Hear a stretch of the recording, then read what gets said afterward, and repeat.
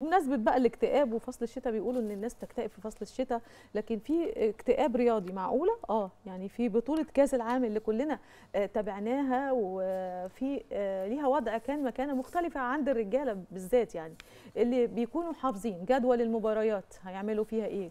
ومتابعينها لحظة بلحظة وبيستنوها كل أربع سنين بشغف ومهتمين بيها بشكل كبير جدا جدا. خبراء الصحة النفسية حول العالم اكتشفوا عن تعرض بعض تعرض عدد ضخم من متابعي كأس العالم لصدمة سموها باكتئاب نهاية المونديال. دي حاجة أول مرة نسمع عنها الحقيقة.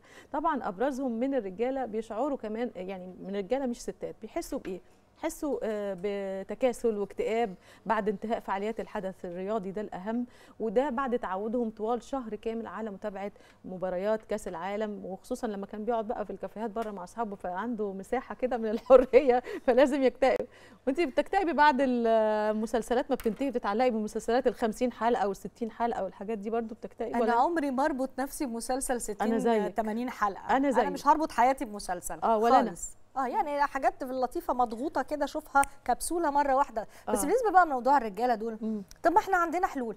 يعني هو دايما عادة بيبقى حاطط ال- الجدول بتاع المباريات حاطه على الثلاجه مثلا أو حاطه في الأوضة أو حاطه في الصالة أي مكان يعني على الترابيزة. آه، حافظه مش دي قصتنا. أنت هتشيلي أو على الموبايل طبعا أنت هتشيلي جدول المباريات وهتقومي مسقطة مكانه جدول تاني خالص بنفس المواعيد بنفس الطريقة. يلا هننزل نروح القهوة نلعب دورين طاولة وهغلبك. فيتحمس آه في يلا نفس نروح الجيم. المكان. أهو يبقى انت ما آه. يعني في نفس الجو. أيوه. حلو برافو. يلا نروح ال- الجيم مثلا مع مم، بعض مم. عشان أنت محتاج شدة اليومين دول. أنت مم. بقالك فترة ما روحتش. ما تتريقيش على منظره أكيد مش هتعملي كده عشان هيضرب في وشك. آه، مثلا تعالى بقى إيه نروح. ده في بقى مكان بيعمل عشاء جميل جدا. تعالى بقى نروح نتعشى في الأجازة مثلا. تعالى بقى ننزل آه، نسمع شوية أغاني. هو عايز أصحابه عايز أصحابه تاني زي ما كان الكافيه ما هو هيروح لأصحابه. عادي دي يروح لأصحابه. ما تمنعيهوش إن هو يروح لأصحابه. مفيش فجأة؟ لا ولو إن بيبقوا أصحابه ستات ورجالة عشان تبقوا عارفين. من الأول كان بيتفرج على الماتش في قهوة بقى. بسيطة قبل الكافيهات دي ما تطلع في مصر فكانوا بيبقوا رجالة. آه. دلوقتي رجالة وستات ومتشيكين. أنا بشوف العربيات واقفة قدام الكافيهات ساعة الماتشات. إيه؟ على سنجة 10 يرجع بقى يلاقيكي لفة الميزومبلي بقى ليه طب ما تنزل معاه طيب طالما رجالة وستات. ما رجلها على رجل وتنزلي معاه. فين المشكلة يعني حلوة رجلها على حبي رجلك. كورة. مم. آه، العبي طاولة. حبي العبي جوزك. حبي حبي جوزك. ما شوفي هو بيحب إيه وحبيه انت كمان إيه المشكلة؟ أو بسيطة قوي اربطيه بمسلسل زي ما منى قالت. واتشت مثلا بتحط مسلسلات جميلة جدا و... ولذيذة ومشوقة جدا.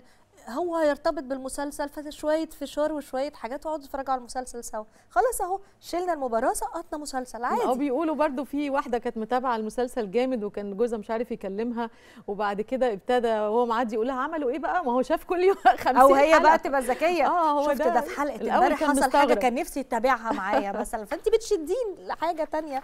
ما تقلقيش يعني ليها هو حل هو زي ما انت. بتقولي خبراء الصحة النفسية قالوا كمان إن إحنا ندور على انشطه وهوايات زي ما انت قلتي كمان. آه، غير الهوايات آه آه. إيه تاني؟ الانسحاب من شعور الاكتئاب ده اللي انت بتحس بيه وتملى فراغك الطويل زي ما إيمان بتقول. آه طيب الستات عليها دور زي ما إيمان قالت في علاج ال- ال- الحاله الاكتئاب اللي بتيجي للأزواج دي إن هم يشجعوهم على هواية ويحاولوا يشاركوهم. أصل أنا أنا أنا عارفة إن الست مهما حاولت هو بيبقى عايز يفلفص من البيت يعني. خلاص يعني زي آه يروح يخرج بره ويجي شوية مش مشكلة سيبي له برده نفس المساحة وما تضايقيش عليه هو هيرجع تاني طبيعي مع الوقت إن شاء الله.